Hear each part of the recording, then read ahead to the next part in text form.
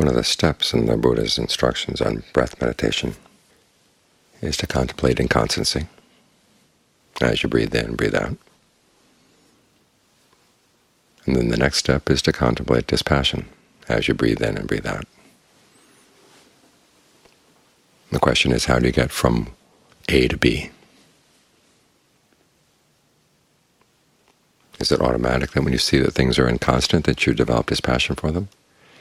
In a few cases, yes. But in a lot of cases, no. It's not automatic. You have to go through several intermediate stages.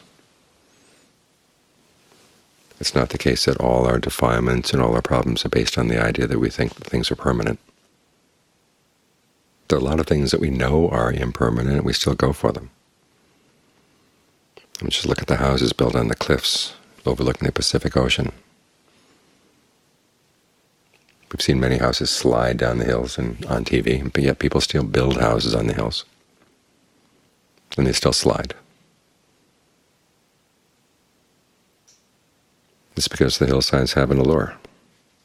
There's something people like about having a house on the hillside, and they're willing to pay the price or take the gamble.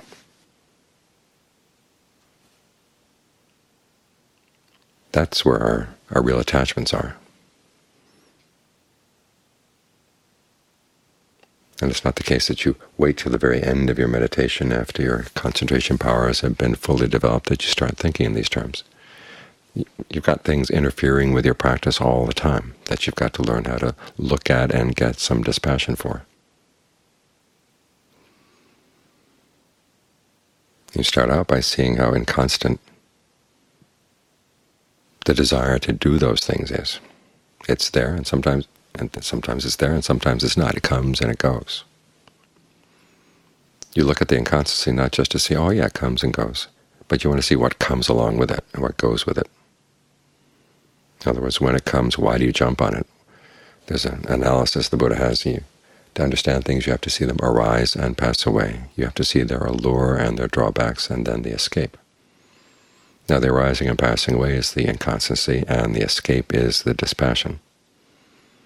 It's those intermediate steps, seeing the allure and seeing the drawbacks. That's where you have to do your work. In other words, a particular defilement comes up, say greed comes up, or anger comes up, or a particularly bad habit you have comes up. Do you want to see it when it comes. Why is there the urge to do this? What sparks the urge? What do you like about this? We are so protective of our, our defilements. People come up with all kinds of excuses, saying, well, I've got this defilement, and um, you're going to have to just excuse me because I'm going to stick with this defilement. It's like little animals that we try to protect. You have to ask yourself, why do you want to stick with it? What pleasure do you get out of it? That old attitude, love me, love my defilements. It's really deeply entrenched, but it doesn't get you anywhere. Because you have to remember, as the Buddha said, aging is going to happen, illness is going to happen, death is going to happen, and with death you don't know when it's going to happen. It can come at any time. He says your proper attitude towards your defilement should be you see you've got one and you want to put it out as quickly as possible. It's as if your head were on fire. He says use all your mindfulness. And it's interesting, he uses the word mindfulness here. Obviously it does not mean just accepting things as they are or watching them come and go without reacting. You use your mindfulness, i.e. your ability to remember that something unskillful is coming in the mind and you don't want it. You don't want it to have power over you.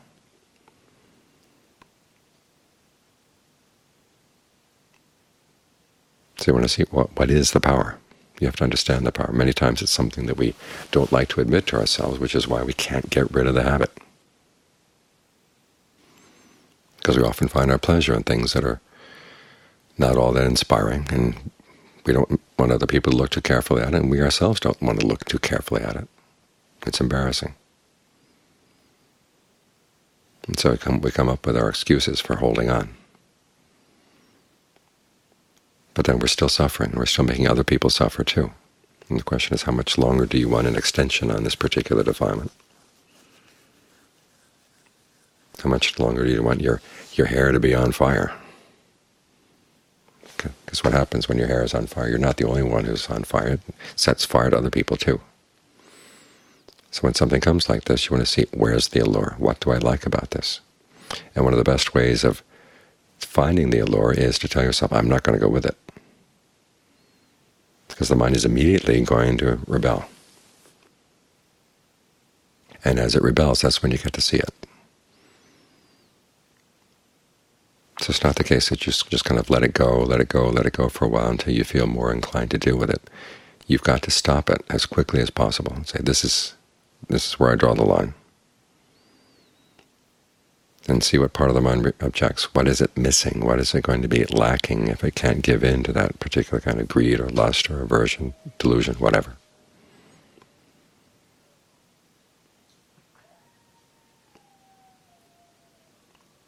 Then when you see the actual lure, why you went for it, then you can compare that with the drawbacks. As often we do know some of the drawbacks, but the lure is hidden. And because it's hidden, it seems to be a lot larger than it really is, a lot more worthy of holding on to.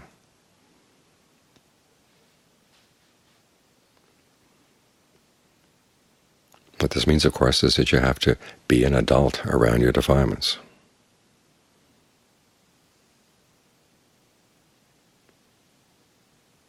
You can't the little little children's voices inside say, well, I'm a little child, and this is how my little child feels.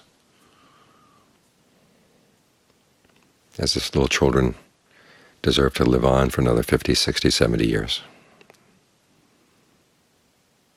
It's not the case that the child is totally innocent and then it was hor this horrible society that made it into a warped being. And we come into, into life with a lot of defilements, fully ready to take over as soon as we learn how to use our bodies and think a little bit more clearly. Our defilements move right in. They're already there, waiting for their equipment to get stronger and they pick up where they left off from the last time around. It's not it's not the case that our childhood habits, our inner child children are innocent, and they should be or that should be given special treatment. If you can't outsmart your inner child, you're still not fully an adult. That's the attitude you've got to have. So you've got to look at the Lord and see what it actually is. And then you can compare it with the the drawbacks. And that's when you can develop some dispassion. You see that the drawbacks way outweigh the allure.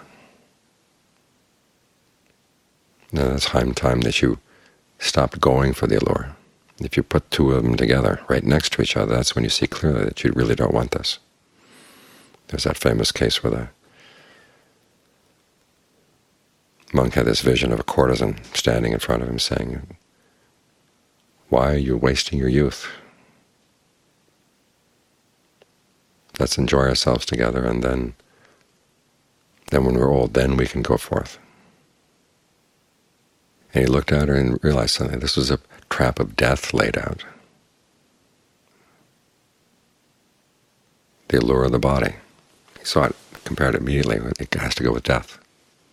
We don't usually put the two of those together, but that's what he put together, and that was I was able to get past that particular defilement. So you have to put them together in strong terms. This is the allure, but this is the drawback. Know, there's a allure with, with anger. There's a certain amount of sense of freedom that we get to say what we want or do what we want. And we feel that we have an excuse because it's we've been overpowered by the anger and the situation is really bad and we we have every right to express our anger. But if you can see the damage that that does to the mind really clearly, and you realize that the allure is nothing, it's the mind is lying to itself. Once you see that the allure is a lie, okay, then you can develop dispassion. And the dispassion here comes not with a sense of missing it or regretting that you have to let it go. It's more like growing up or getting past a bout of intoxication. You suddenly sober up. Things are, are a lot clearer. You're released from the power of the allure.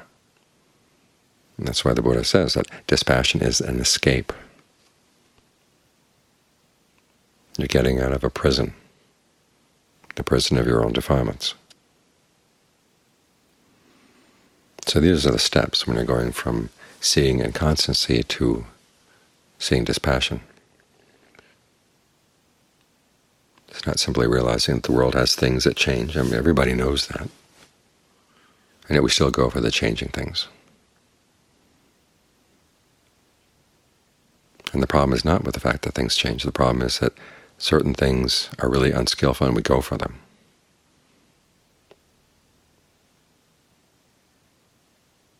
even though we should know better. So it's in seeing when these things come and when they go, looking into the specifics of their inconstancy. It's not just a general principle. Watching for the allure that's going to kick in as soon as something arises that makes you go with it. Or the fact that you've suddenly, for a little while at least, grown tired of the allure and you've dropped it. That's why you want to look at the coming and going. Look for the specifics. That's when you can start making comparisons in the inner mind see that it's not worth building your house on that hillside. It's going to go sliding down. There are a lot safer places to build your house. Choose those instead.